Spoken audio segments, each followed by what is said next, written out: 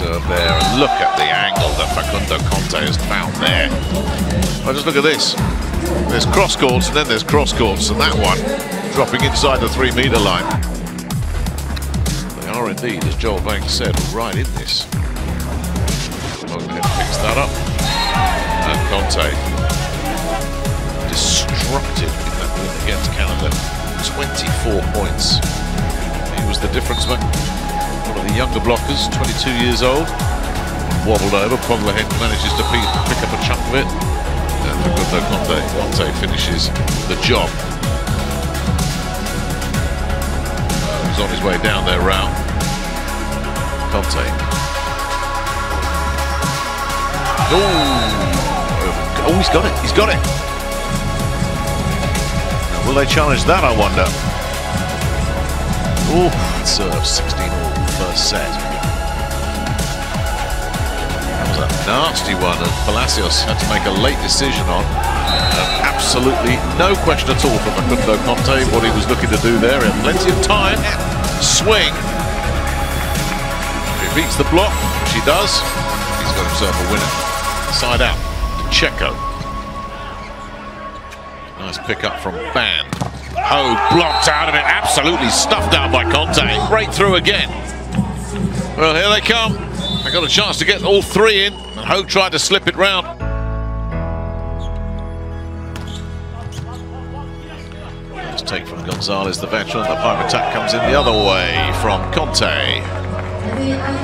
Plays his club volleyball in Italy. Looking to keep it going here for the Canadians. Much better service reception. And there's the net result for Facundo Conte, who's not only a powerful outside hitter, but can do some... Referee had a perfect view of where that had dropped, and there's no complaints from Canada either, no review, so it's 7-6 now. That's Sclater in a bit of trouble, blocked out of it, and Argentina have turned this one on its head. Tilt the balance in their favour. A point on serve will give them control of the set. It's a good one, nasty serve that. Conte has to deal with that straight at bar, couldn't keep it up.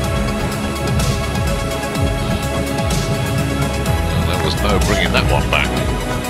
Get into place. Hogue with serve. Pereira struggling. Now, what a chance this is for Canada. Ma, that's a missed opportunity. Pipe attack comes in and it's good from Conte. That was a point Canada could have won. For Canada, desperate to take it to a to a tiebreaker. Ronkainen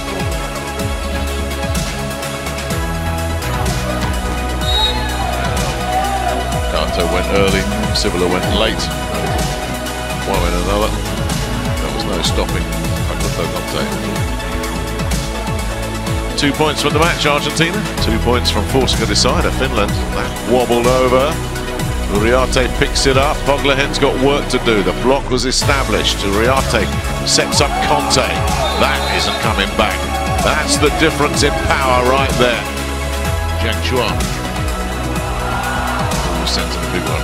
Devised something there, Gonzalez. Dug that one off the floor, didn't he? And then Facundo Conte went to work side out. Really important service reception there.